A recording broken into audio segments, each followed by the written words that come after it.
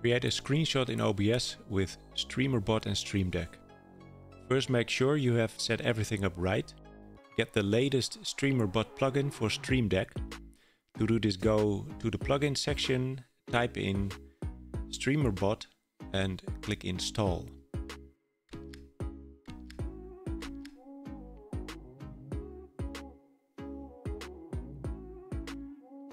Once that's done, open OBS and through Tools, WebSocket Server Settings, enable WebSocket Server.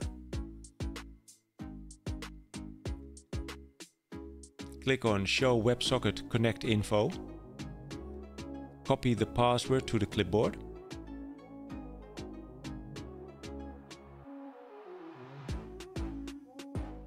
Click Apply and click OK.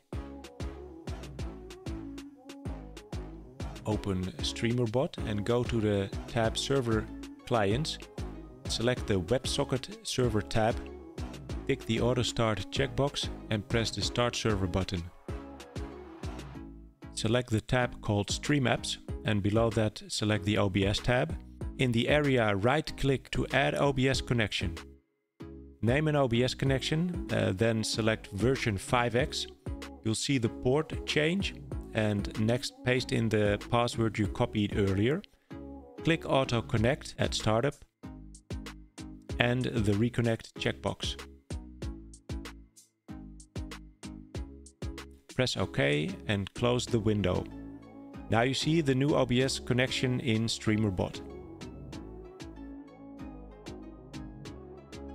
If all is well, it says connected. Also in the right hand corner bottom, uh, it says OBS is connected. Now we're going to add an action to make the screenshot button. Go to the Actions tab in StreamerBot, then right click in the left pane to add an action.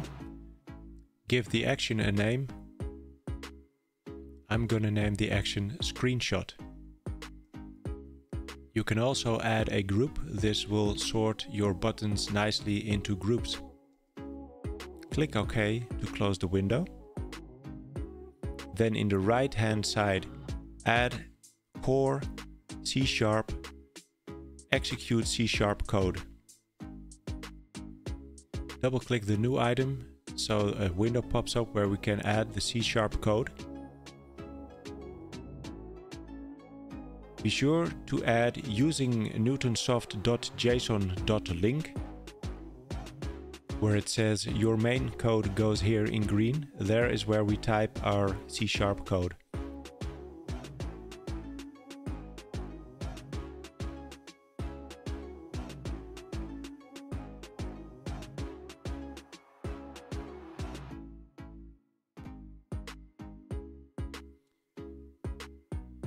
The name of the screenshot is generated by the system time down to the millisecond. So let's add that code.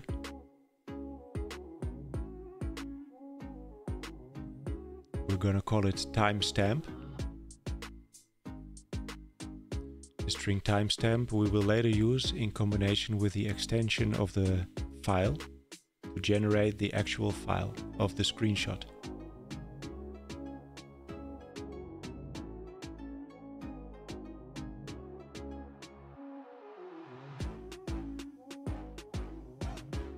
Once that's done, we're gonna fill the rec with all the items we need to make a screenshot. The easiest part is to write blanks and then copy it over six times. In the last three lines we do not need the quotation marks, so we'll delete them. Source name is the source in OBS where we're gonna take the screenshot from.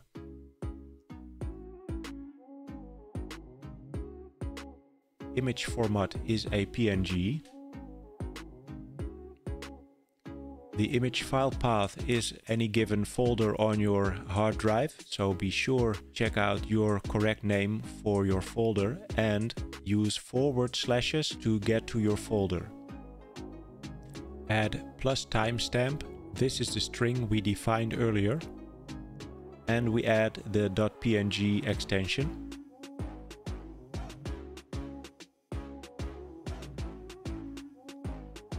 So next up is the size of the image.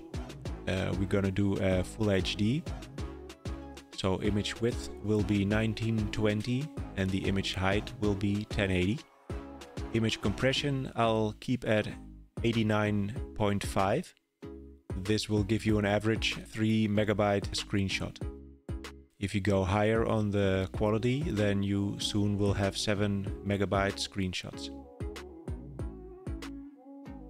The CPH OBS send raw, that's the command that will execute the above code. All these commands can also be found on the StreamerBot website.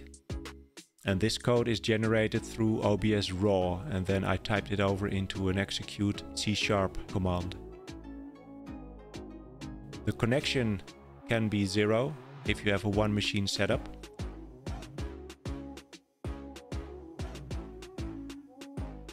Next press compile. Here we see we have a typo, so we have to correct that. In this case J object is misspelled. Everything is case sensitive in the code, so be sure to type everything correct. Press compile once again completed successfully it says and then press save and compile. Next up is the integrations. Press the integrations tab and then one row below it says at the end streamer deck. Press that tab. Tick the checkbox auto start and also start server. Open up the streamer deck software then scroll down on the right side to where you see streamer StreamerBot plugin and select an action and drag that to an open field. A one-time setup is the connection. So press that and everything is set up already. Press save and it should say online in green. So now your connection to StreamerBot is done. That's a one-time thing. Then where it says action, select the action we made in StreamerBot, in this case screenshot. You can add in a title if you wish. You can format the font to your liking, your colors and the font size. You can also add an icon if you like.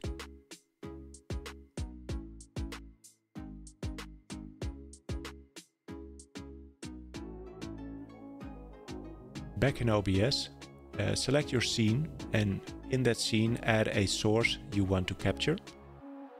If it's a new source you can already copy over the name you're gonna give it. Here we're gonna select the Stream Deck software as a source. Scale it up a little bit, center it to the screen.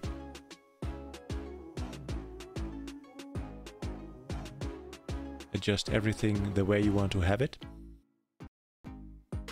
The source name we are gonna paste into the C-sharp code where it says your source name in OBS.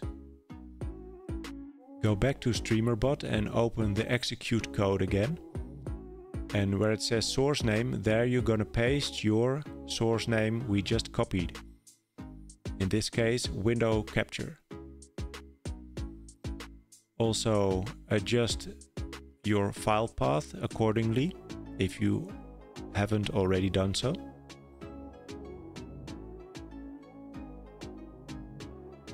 In my case, I made a separate screenshots folder.